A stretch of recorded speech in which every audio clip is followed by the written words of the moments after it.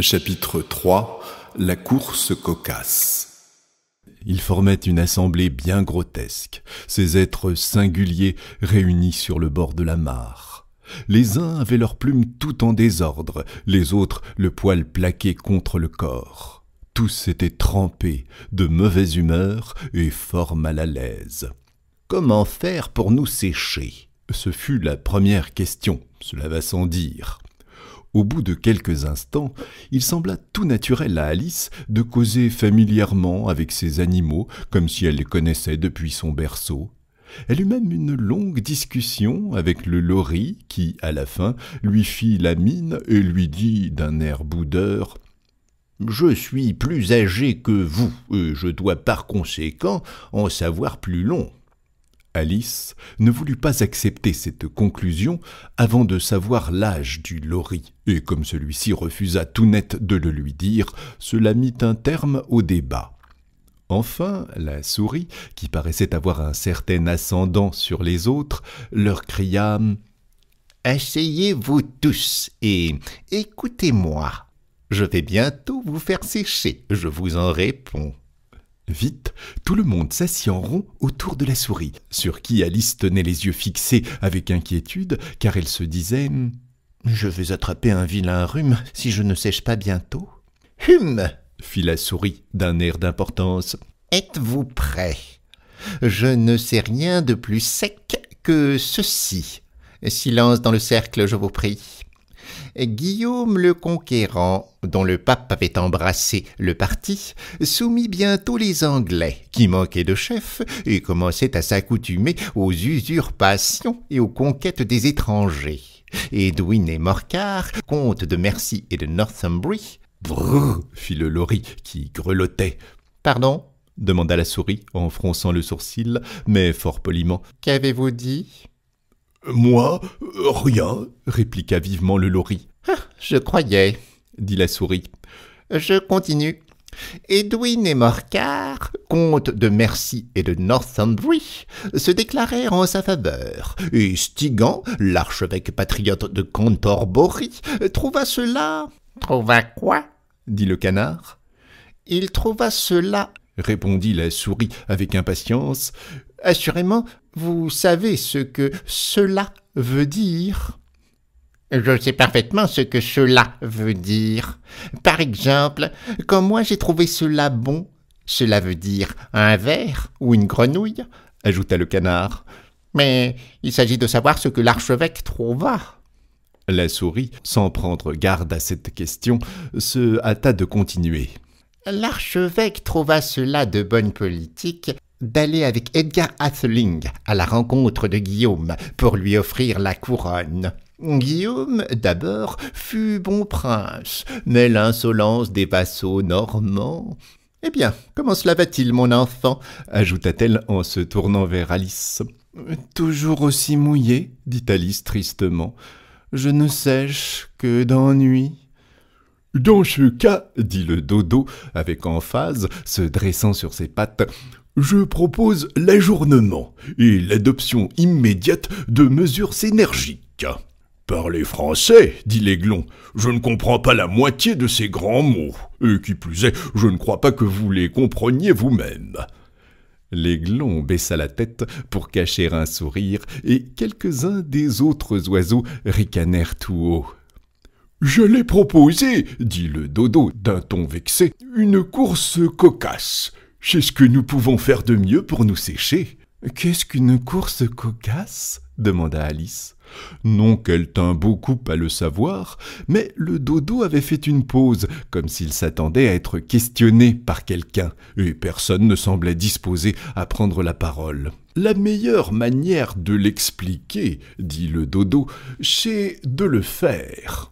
Et comme vous pourriez bien un de ces jours d'hiver avoir envie de l'essayer, je vais vous dire comment le dodo s'y prit. D'abord, il traça un terrain de course, une espèce de cercle. Du reste, disait-il, la forme n'y fait rien, et les coureurs furent placés indifféremment çà et là sur le terrain. Personne ne cria Un, deux, trois, en avant mais chacun partit, et s'arrêta quand il voulut, de sorte qu'il n'était pas aisé de savoir quand la course finirait.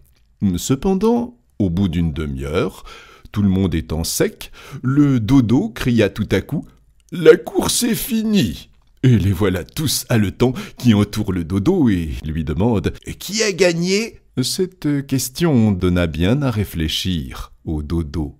Il resta longtemps assis, un doigt appuyé sur le front, pose ordinaire de Shakespeare dans ses portraits, tandis que les autres attendaient en silence.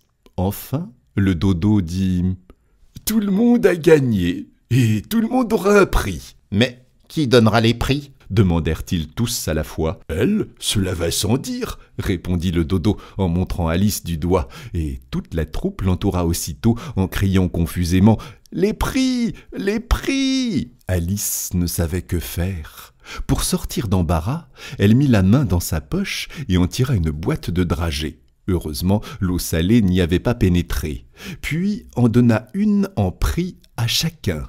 Il y en eut juste assez pour faire le tour. Mais il faut aussi qu'elle ait un prix, elle, dit la souris.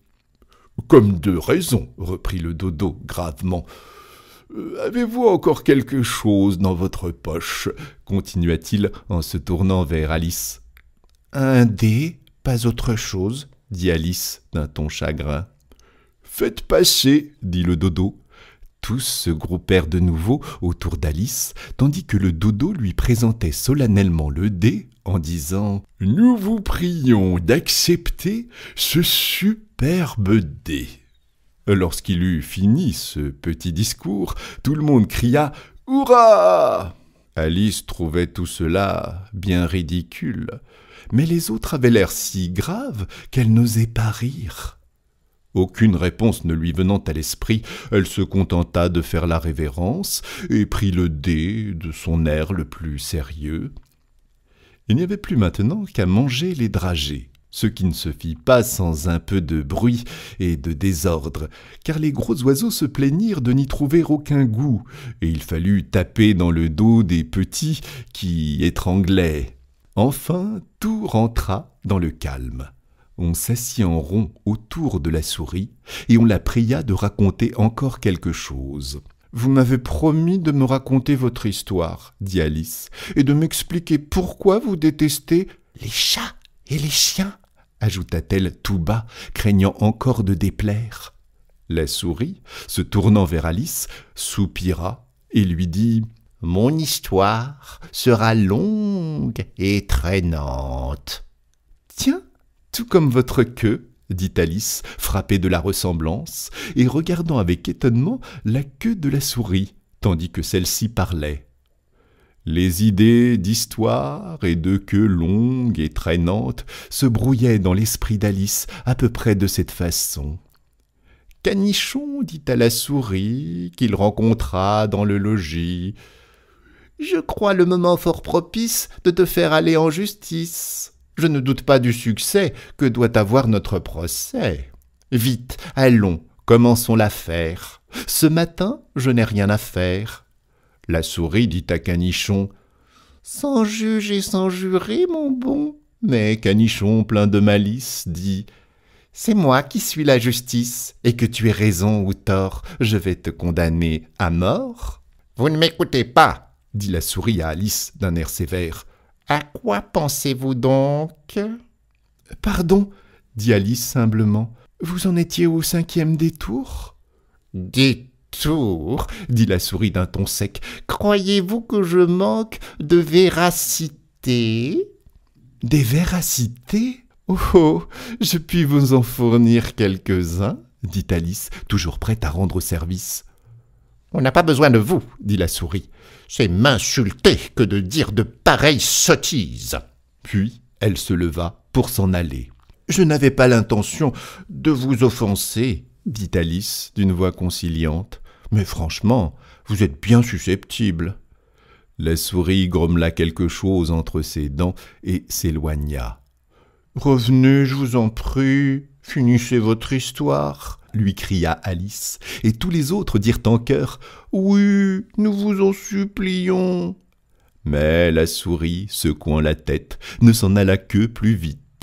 Quel dommage qu'elle ne soit pas restée, dit en soupirant le lori sitôt que la souris eut disparu. Un vieux crabe, profitant de l'occasion, dit à son fils Mon enfant, que cela vous serve de leçon et vous apprenne à ne vous emporter jamais. Taisez-vous donc, papa, dit le jeune crabe d'un ton aigre. Vous feriez perdre patience à une huître. Ah, si Dina était ici, dit Alice tout haut, sans s'adresser à personne. C'est elle qui l'aurait bientôt ramené. Et qui est Dina? S'il n'y a pas d'indiscrétion à le demander, dit le lori. Alice répondit avec empressement, car elle était toujours prête à parler de sa favorite. Dina, c'est notre chatte. Si vous saviez comme elle attrape bien les souris, et si vous la voyez courir après les oiseaux, aussitôt vue, aussitôt croquée. Ces paroles produisirent un effet singulier sur l'assemblée. Quelques oiseaux s'enfuirent aussitôt. Une vieille pie, s'enveloppant avec soin, murmura Il faut vraiment que je rentre chez moi. L'air du soir ne vaut rien pour ma gorge. Et un canari cria à ses petits d'une voix tremblante Venez, mes enfants, il est grand temps que vous vous mettiez au lit. Enfin, sous un prétexte ou sous un autre, chacun s'esquiva, et Alice se trouva bientôt seule. Je voudrais bien n'avoir pas parlé de Dina, se dit-elle tristement. Personne ne l'aime ici, et pourtant c'est la meilleure chatte du monde. Oh, chère Dina, te reverrai-je jamais? Ici, la pauvre Alice se reprit à pleurer. Elle se sentait seule, triste et abattue. Au bout de quelque temps, elle entendit au loin un petit bruit de pas. Elle s'empressa de regarder, espérant que la souris avait changé d'idée et revenait finir son histoire.